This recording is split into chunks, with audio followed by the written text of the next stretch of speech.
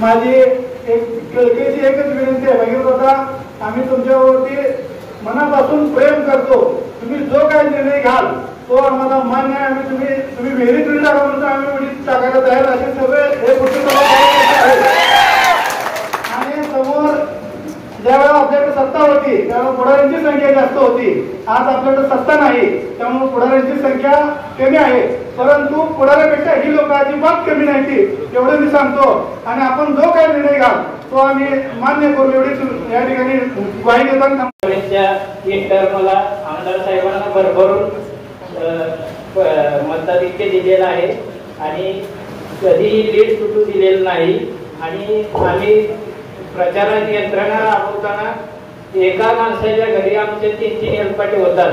आणि आम्ही कोणतेही हे हे ठेवून किंवा कोणतं स्वार्थ साधण्यासाठी किंवा ह्याच्यासाठी पळत नाही. की नाना आमच्या घरचा माणूस आहे. असं आम्हाला कायम वाटतं आणि वाटत होतं.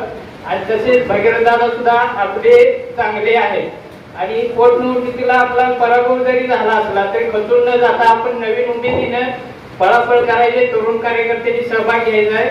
आणि दादाला विजय हा निश्चित मिळणार आहे. त्यामुळे कुणीही काही अडचण येणार नाही. त्यामुळं आपण प्रचार यंत्रणा राबवताना स्वतः आपल्या घरचा माणूस उभा आहे ह्या दृष्टीने आपण राबवायचं आणि दादा जो निर्णय घेतील तो सर्व आम्हाला मान्य आहे. आणि आपण शंभर टक्के आमदार होणार यात काही शंका नाही. एवढे बोलून मी माझे